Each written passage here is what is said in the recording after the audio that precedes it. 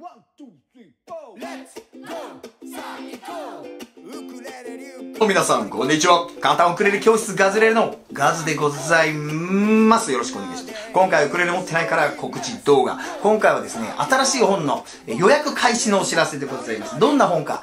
えー以前こちら、皆さんも持ってる方多いと思うんですけれども、これ、えーガズがね、えープロデュースした人が書いてる、みんなで歌おう簡単ウクレレ教室っていう、えーリットミュージック社楽譜のもう日本で一番大きいような会社のリットミュージック社さんというところからね、この本は出版されているんですけれども、この出版社さんから次回作が出ます。えーと、なんと、ウクレレソングブック by ガズ。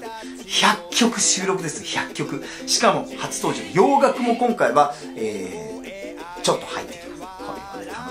で。今曲を選んだり、いろいろどうするかこうするかって話し合ってるんですけど、まあ、あの、こ漢字としてはこういう感じです。えっ、と、今回はこっちのこういう解説を、こっちのページの解説を抜きにして、もうフルでもう楽譜100曲、そういうコンセプトに、えーしようと思って、今編集者の方と今作り上げてる時の予約開始です。で、この情報、ここちょっとリンク貼っときましょう。ここでちょっと調べてみてください。えー、予約もできますからね、5月30日に発売です。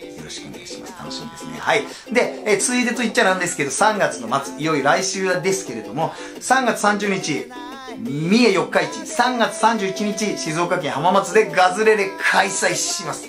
この 2days は今回ちょっと今までと趣向を変えまして、ウクレレでね、困ってることディープに答えます。もう16ビート手首の動きとか、どこで弾いてるかとか、もうね、親指はどうなってるのかとか、こっちの手はどうなってる、どうなってる、もう全部質問に答えて、マニアックにリズムの面白い脳トレ的なことをやろうと思います。質問も今から考えておいてくださいね。どんな質問にも答えて、それに全部対応しますから。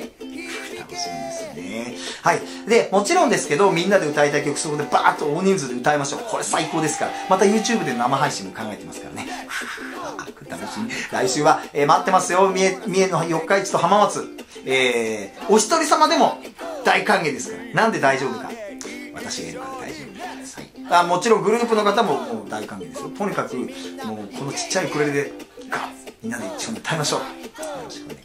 はい。そんなこと全部情報はこのガズレレホームページで案内しております。ここにガズレレホームページのリンク貼っておきます。それもチェックしてください。はい。今回はお知らせ動画でした。えー5月30日リットミュージックから100曲入りのガズの、えー楽譜の本が発売されるということと、3月30日、えー三重県四日市3月31日、えー静岡県浜松ガズレレ行くよというご案内でした。はい。